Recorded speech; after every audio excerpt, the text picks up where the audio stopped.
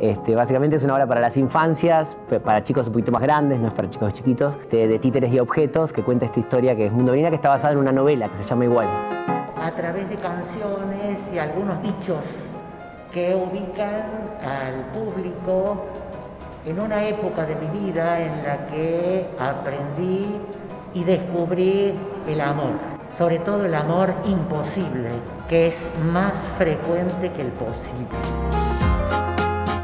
Hemos venido muchas veces al Chaco, a Resistencia especialmente. Estamos en una sala que conocemos bien y que era de un amigo que ya no está, así que estamos emocionados y contentes de volver a estar. Para nosotros es, un sueño, siendo de Santa Cruz, poder asistir a un nacional, poder aprender todo lo que uno aprende viendo a los colegas y viendo diferentes realidades. La fiesta nacional ha sido una verdadera celebración y bueno, brindamos porque sigan ocurriendo estas, instancias en donde gente de teatro, pero el público eh, en general pueda disfrutar de estas experiencias.